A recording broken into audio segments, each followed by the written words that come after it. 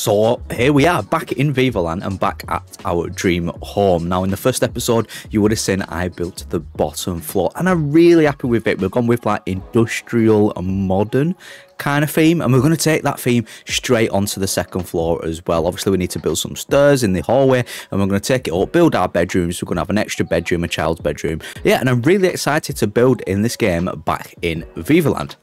If you've not already seen the first episode describing what this game is all about and how to get this game, by the way, this game is free, then go and check it out. I will link in the description down below.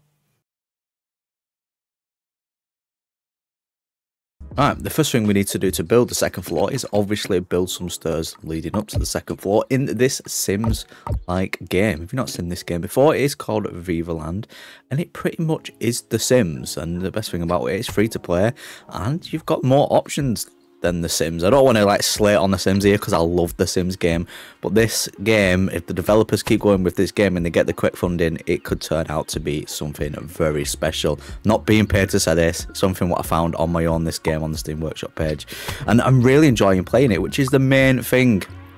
Alright, now the stairs are on, it was time to go into this speed build segment of this video. It took me so long to build this. I think the first floor took me six hours and I would say this floor took me about eight. So you're getting a long, uh, a long majority of playtime out of the out of the game. What's free? I know I keep saying it's free and bragging that it's free, but it just blows my mind that developers have been able to do this. Right, second floor, we're going to just build the walls around the same walls what we have initially got in and try to separate them into into bedrooms. So we're going to have the kids' bedroom to the left. We're going to have the hallway, which is above the original hallway in the middle and we're not going to have much in the hallway really. I thought I've, I cornered this end bit off thinking right I'm going to build um, a, a, toilet there but I thought no it just doesn't look right and that would be a hell of a small toilet. And you're coming right up the stairs into a wall and I didn't like that. I wanted it more open plan. So I built this extra extra uh, room here and this is going to be the ensuite bathroom. So we're going to have the main bedroom with the ensuite bathroom and then at the top here, we're going to have an office next to that, like kind of like all entwined as well. Now at the front there, you would see I started with a little overhang what I've just deleted and that was an idea of mine to build kind of like a balcony area. I wasn't sure actually how to implement that into the game, how the game mechanics worked for me to create a balcony. We do end up doing it though towards the end of the video, so stay tuned if you are playing this game of how to build a balcony area because it was a little bit tricky. Right, we've got our main wood down in the hallway. I believe this is the same wood what we used um, on the lower ground as well. And now we're just trying to figure out what kind of flooring we want in the different rooms and making everything look nice and modern industrial style, but very well done and clean as well. I think the messiest bedroom is obviously going to be the kids' bedroom. If you don't know a little bit of personal information about myself, I have got a child. I've got my little boy who's eight years old, and this is my dream home in this game. So I'm trying to create what I would love to live in. So obviously, my little boy has got to have a room. I've got a big bedroom with the ensuite, and then an office where I can make videos like the videos you're watching here. I, think I might be too into this game at this point. Um, and it's actually making me want to play The Sims 4 again. Um, I've not played it for a while, you know, and I didn't really get too into it. The Sims 2 and The Sims 3, I was really into them, but The Sims, The Sims 4, I couldn't, I couldn't really get into it. I just don't know what it was. Um, the simulation part for me is not the be all and the end all. It's the it's the building. This is what I love doing, building stuff, and that's why I love building stuff in Planet Zoo as well. If you've seen any of my Planet Zoo stuff, any games will help me get creative and let me build stuff freely like this, I absolutely love. It's like painting, but in a virtual world, if that makes sense. Right, the middle part, we went this with the same texture on the outside. Then I saw some things were in the garden. I thought that shouldn't be right, so I moved them back in. We've got a space above the garage. We're just going to put a roof there, what you can see me doing now. And now the roofing, I really didn't realise how it actually worked. I overcomplicated it for myself, so I thought this is I need to like layer them down just like you would do in like Planet Zoo or Planet Coaster, like you can see me doing here. And I thought they're not lining up.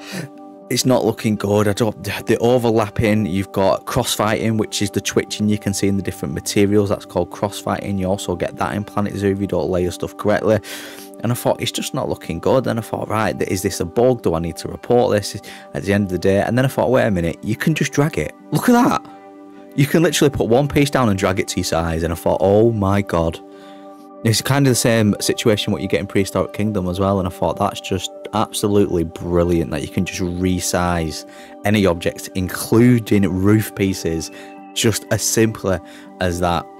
I wanted this middle part here, this hallway part, to be bigger than the rest of the house, kind of like stand out, and this roof just worked perfectly, especially when I realised you can just stretch it to how you want it.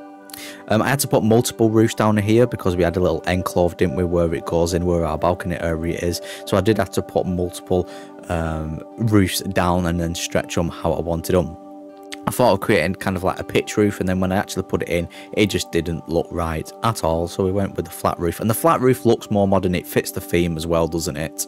Right, what I want you to do now is go in the comment section below and let me know, are you playing this game? If, is it something what you've picked up? And if you have, are you enjoying it? Because that's the main thing. Are you enjoying playing it?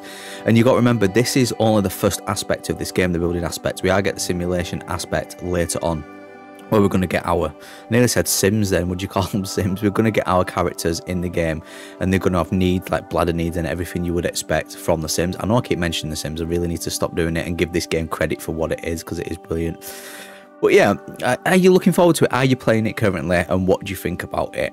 Um, all my social media links will be in the description down below, as well as the Discord. So if you want to join the Discord and talk about this game and other games like this game, then feel free to do so. You can also share images of what you've built. Let me see your houses.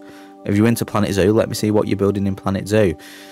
You've got a showcase section in the Discord for that, or you can share them on social media to me. Right, just adding the windows on the top floor now, and we just kind kind of went simple really with the same windows, the same modern theme windows that we used on on the bottom floor. I love this hallway because I love how open it is. It's just very open plan, and it's a lot of light coming in from both directions. I kind of pictured myself kind of like sitting in front of these windows at night with a nice book. Um, I don't know why I just said that because I don't really read books. But yeah, I'm sure when I'm older, I'll read books when I retire. But yeah, just like sitting there, chilling out, nice cup of coffee or a nice glass of wine, and, and just watching the world go by through one of these massive windows and looking up to the stars would be lovely. Talking about coffee, I've currently got a coffee which I'm just going to take a nice sip of. If you know me, anything about me, you know I love my coffee. Right, the first bedroom we're going to build is the little boy's bedroom, the children's room. So uh, again, we're going to go with that modern theme, but we're going to make it look like, the, honestly, this kind of looks like the bedroom my little boy has in real life, and kind of the bedroom I would love to have if I was a little boy again. We're going to go with the wardrobes, wardrobes again, modern theme, and I'm just playing about with different items, seeing what look good, seeing what fits, seeing what I can do, um, and, and seeing what everything suits in. You will see that the roof is just poking out there, so let's poke it back in, which is a brilliant thing about this game. You could just move it just like that and resize a whole roof piece. And I've just said that, but it is brilliant. Right, we're going to have a little games console there. Of course, it's a little boy's room. We need a games console. We want them to be the new Fortnite champion after all and earn us loads of money in tournaments, don't we? Right, and then we're going to add some kind of like cube storage. I started adding it on this side and I thought you can't really get to it on this side of the bed, could you? And you're going to be banging your knees and there's not enough room. I tried moving things around and I thought it just looks a hell of a lot better if I have it on the right hand side next to the wardrobe. We're going to have a little kind of like a side unit, again, cube style as well. We're going to change the colours as well because we want it blue. We want a little bit of colour in there because everything does look very, even though it does look very nice and modern and stuff, it just all samey, isn't it? A lot of blue and the wallpaper on the walls, well, the paint is blue as well now, the one thing what annoys me about this game is there's there's not enough building options, and I understand this is like, kind of like beta, isn't it? It's early access, so there's not going to be a lot of building styles. But the curtains is really the thing they need to focus on here for the windows. I couldn't get a curtain to fit in apart from a blind. Right, just adding a little decor now. So we're going to add a pillow, we're going to recolor that to blue as well to fit the same theme as the bed and the walls. And then little accessories like wires and alarm clocks. And we're going to add some ornaments and some trophies, like maybe they're into the swimming or the boxing or the karate or something like that, the children add some trophies onto the shoe boxes obviously so they can have the new style of shoes. And obviously we need to add some messy messiness don't we it's a little boy's room so let's add some messy clothes onto the bed just like that. And then again with the ornaments and the mirrors and stuff like that adding all the decor you would find in a normal bedroom regardless if not if it's a child's bedroom We've got the TV, we've got a little plant in the corner, and that, you know, that is is pretty much done. We're going to add that above the bed, a little like to-do list and month list, like a little corner here, like an artistic corner. Make sure they're not forgetting what chores they've got for the week. And yeah, just adding little bits and bobs like lamps and stuff like that, and little light at the side of the bed, and that pretty much concludes this room. The rest of the room is going to be in stop motion to speed this video up a little bit because I am quite concerned that this video is going on for quite a long time at this point. So if you are still watching, thank you very much for watching. Final little touch for me was adding um, like a bin and we're going to kind of look for stuff what we've got downstairs and I like to do this. What we've got downstairs what we can put upstairs. Little stereo unit here for the children's music as well. We're going to add some hanging plants for a little bit of extra decoration. And we're going to add some books and magazines and uh, these little bits. I always say it's the little bits what matter when building stuff in, in simulation games. And it's these little these little touches really do help bring the whole build alive and this whole room alive in this case. And with the books being added, with that being said, this concludes this room. Now we're going to go into stop motion imagery of the other rooms and see how I created them. Just a little side note here, while I was creating my office, which I'll show you how I created in a minute, I found out you can actually put objects in objects. So I managed to put this stereo, into this unit and it kind of looks like it's built in. Just a little bit of an extra tip for you if you are playing this game. Right, let's go into the office and how we built it. On this bottom corner, you're going to see a sofa and a table and a lamp. And then we've got the office desk, the chair, the rug, the plant, everything you would find in an office, keeping it very modern. TV on the wall. And then that unit, what we just talked about, add some plants on the top, add some um, some storage space at the back and you've got the office. The side of the office we wanted the bathroom. We're going to keep it very industrial with this and really happy how it came out looking. So we're going to go with a lot of black, whites and kind of like gold elements as well. I'm going to add the sink there. We're going to add some modern storage. Again, with that industrial look, you'll see that the toilet is currently backwards. Don't worry about that. That's just what happens when I try to create these stop, stop motion imagery pictures. I don't know why it does it, so we need to change that around. But kind of added a little kind of like black wooden wall as well. And I'm really happy how this came out bathroom. This is my dream bathroom if I was to have an house of my own, which I bought. I currently rent, I don't own an house. And then the main bedroom, again, wardrobes to the left, mirrored wardrobes lovely little bed, keeping that same theme as well and that same colours. Added the two rugs. I kind of wanted to make it look a little bit more comfy, so that's with the thicker rug as well in this room. Adding the curtains. Again, you can't have a curtain on the other side, which is really annoying.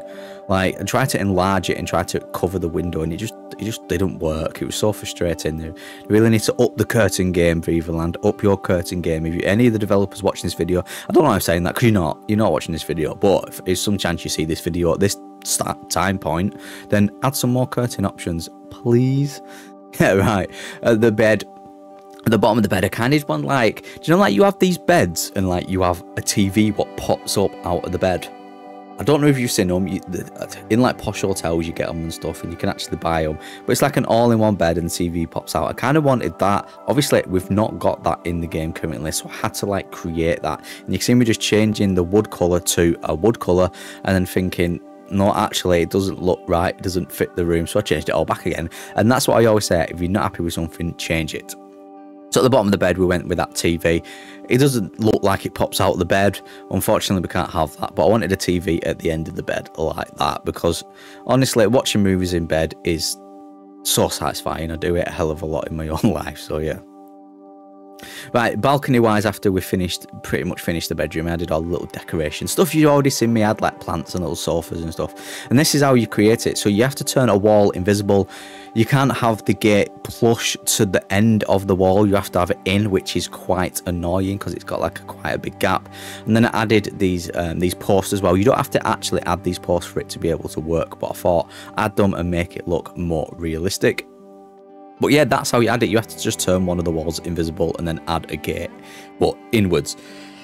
Adding that big patio door now, what's going to lead onto the balcony, and then thinking about what you would actually have on the balcony, and thinking, would you have a bench? Maybe you would. Um, so I had this kind of like little bench. I didn't want like a full like garden bench, but this is like an outdoor bench. And then I thought pergola or shaded area, and it just wasn't enough room. It is a small balcony after all. I did think about doing um, like a lap around balcony the, around the whole front of the house, but honestly, I, at this point, I was pretty much done with this build, and I just wanted to get it finished and wanted to see how the house came out looking as the whole. So I just added a little bit of lighting, added a little bit of more plants and stuff like that, and then it was pretty much done. Our balcony is done, and then I zoomed out and thought, wait a minute, where's my front door? Where's my windows on the bottom floor? See, the roof is done, the roof is looking good, but how come I've got no garage? Uh, oh. Uh, yeah, this happened. I don't know what happened or what I did, but everything deleted apart from the lights in the garage and the kitchen from the bottom floor. All the wallpaper, all the floors, all the furniture, everything you could think of deleted itself. Or I did, but I don't know how, how I realised how I did it. But yeah, I'm going to add these back in, take a few pictures, and then post them pictures on my social media. But my name's Adam. I hope you have a wonderful rest of your day. I hope you enjoyed this video. If you did, drop a like. And if you're into creative games like this and building games, then if you're new around here, subscribe. You might as well. Hit that notification bell, and I will catch you in the next Vivaland video. Maybe.